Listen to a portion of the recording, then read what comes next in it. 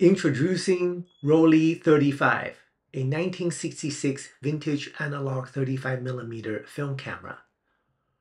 Rollei introduced the Rollei 35 at the Photokina in 1966. Since then, about 2 million units were made in a span of about 30 years.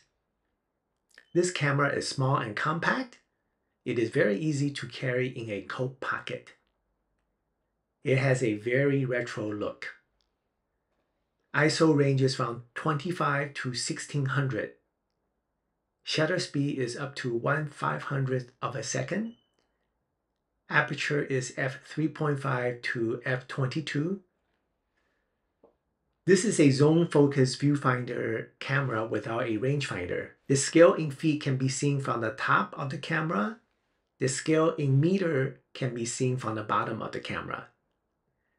It features a collapsible Carl Zeiss Tessar f3.5 40mm lens. It has a CDS light meter. It's a match needle system. To achieve the correct exposure, change the shutter speed and aperture dial so that the light meter needles overlap with each other.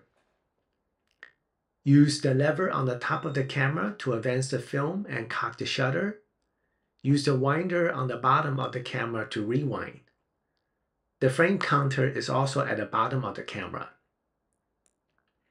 You may be surprised that the hot shoe is at the bottom of the camera.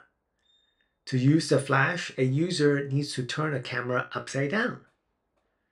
This version was made in Germany. Later production models were made in Singapore until 1981 when the plant was closed. This camera and a large variety of other vintage analog and digital cameras are available at CameraZone San Francisco. Please come and visit.